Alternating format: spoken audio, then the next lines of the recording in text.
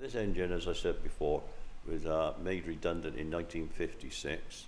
At that time, I was doing my national service, and when I came back, it was gone. Back in 2004, the company decided that they were going to close Somerdale site, so I wrote the book Somerdale Story, and from that, been access to all the archive photographs. Out came the photographs of the Sentinel. Uh, so I decided I'd find out what happened to the loco. The loco was reputed to have been scrapped. Wherever I went, they all said that this engine was scrapped because it was used for spares for Sentinel steam wagons. Um, much to my wife's consternation, I still carried on, and five years later, I actually tracked this thing down, and it was in Essex. It, the main story is it went from Fry's in 1964. It was sold to Grove Road scrapyard, run by the Lewis brothers, along with their father, who wanted to cut the engine up.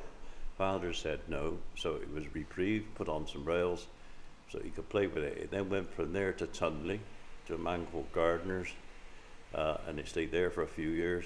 It then went from there all the way up to Bacton in Suffolk, where it stayed outside again, and a bloke called Fimbo, a chappie called Fimbo. And when he died, the guy came up from Essex who used to know the family and took the engine back to his garden.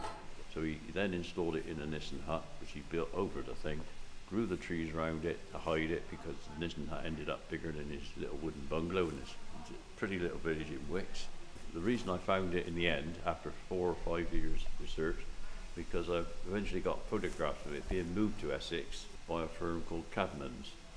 Uh, in my usual style, I picked the phone up and I rung Mr. Cadman himself, not worrying about secretaries and what have you. And he was very grateful. In fact, he's a bit of a conservationist in his own way. Um, he went out and, and located the engine and it was still there and got permission for me to go and see it.